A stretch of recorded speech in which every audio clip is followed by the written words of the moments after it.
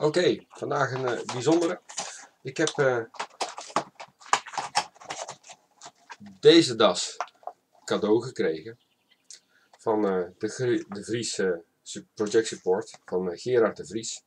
Dit is een designer das van Mark Jonk en het project daarachter heet El Nino. Hij staat hier uiteraard in, in spiegelbeeld voor jullie op beeld. Um, Bedankt Gerard. Het was een uitdaging. Uh, ik heb hem uiteraard al een keer uitgepakt, want de das zelf heeft behoorlijk uitdagende kleuren. Dat even vooropgesteld. En hij is heel erg, uh, heel erg dun. Dus je kunt er geen, uh, geen echte 3D-knoop van maken, zoals dat ik bijvoorbeeld gisteren had. Dus ja, het was nog best zoeken naar, wat zou ik er toch, toch mee gaan doen. Dus ik heb er eentje. deze is van de Eric Lenny.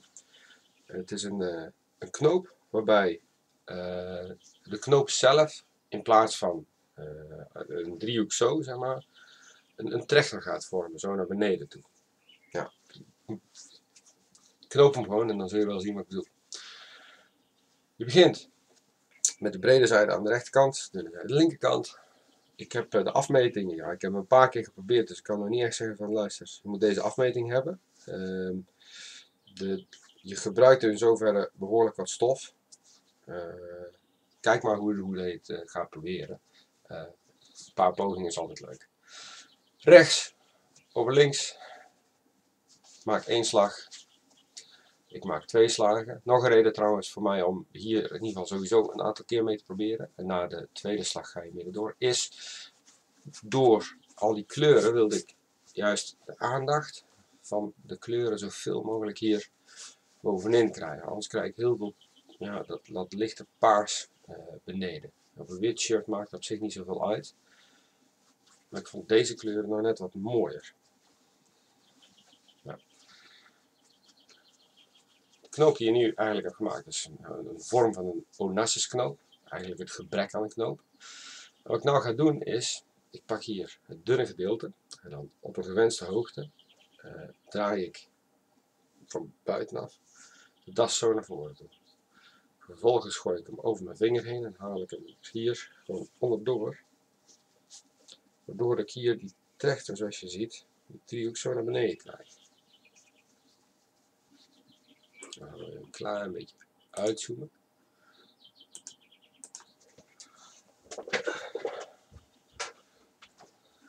Zo. Wat ik nou ga doen is deze hier doorheen halen. Waardoor ik een hangende spiraalknoop krijg.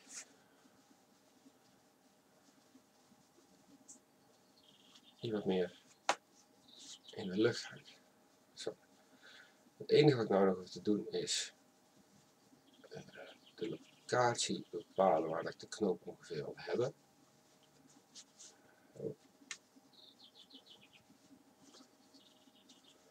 En vervolgens aantrekken.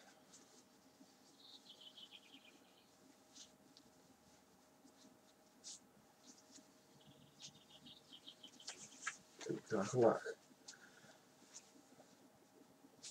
Het effect wat ik nou dus krijg is, dat ik geen knoop heb.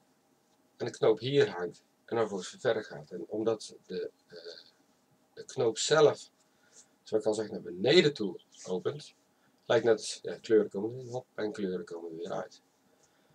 Heel apart knoop. Ik zal uh, de knoop zelf nog eens een keer laten zien. Het bovenste gedeelte dat lukt jullie wel.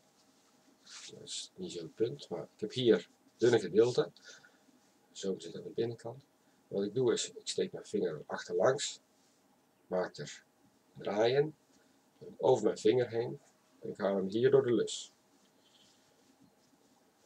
En dan heb je hem gewoon al. Het enige wat ik me eigenlijk druk om hoef te maken is, nou, welke afstand wil ik hem dan hebben.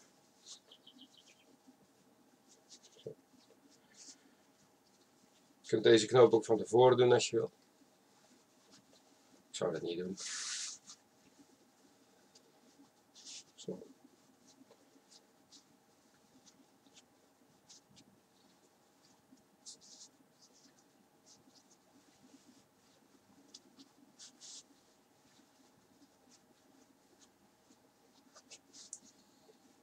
Trekken.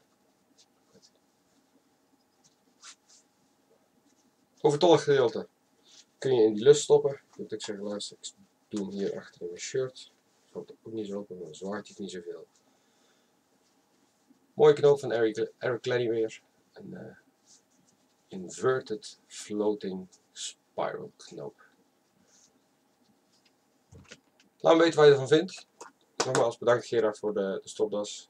Uh, het was een behoorlijke uitdaging. En ik hoop uh, dat jij de knoop mooi vindt.